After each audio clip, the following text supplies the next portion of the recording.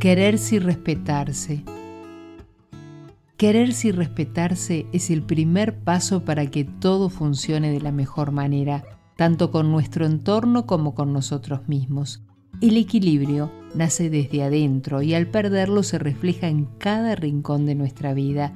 Existen múltiples razones que nos llevan a descuidar este equilibrio y es ahí cuando el templo que somos, cuerpo, mente y espíritu se tambalea.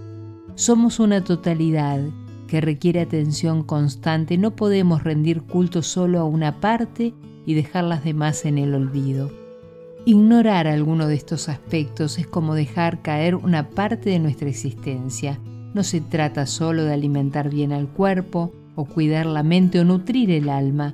Se trata de cultivar una armonía entre los tres. A veces inconscientemente nos castigamos cuando algo no marcha como quisiéramos. Buscamos consuelo en los excesos, en la comida, en las salidas, en el descanso, en actividades que parecen llenarnos pero que en realidad nos vacían más.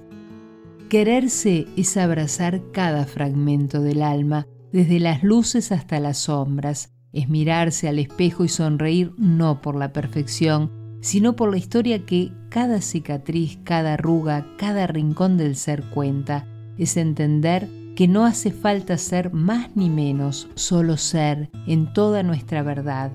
Respetarse es saber cuándo decir no y cuándo abrirse a lo que nos nutre. Es reconocer que los límites no son muros, sino caminos que nos guían hacia la paz interior. Respetarse es caminar al propio ritmo sin apresurarse ni detenerse por las voces ajenas. Cuando nos queremos, nos tratamos con el cariño que merecemos. Cuando nos respetamos, nos escuchamos y honramos nuestra esencia. Y así, en ese delicado equilibrio entre amor y respeto, encontramos la libertad de ser auténticos. En la actualidad ya no hay excusas. Sabemos qué alimentos nos dañan, qué hábitos nos desvían, qué pensamientos nos hunden. No podemos seguir haciéndonos trampas al solitario. Debemos ser honestos con nosotros mismos, poner una mano en el corazón y cuestionarnos profundamente qué es lo que realmente queremos de nuestros días. El poder está en nuestras manos. Somos responsables de cómo llegamos y hacia dónde nos dirigimos, porque al final somos la suma de nuestras elecciones y solo cuando nos queremos y respetamos plenamente podemos construir una vida en armonía.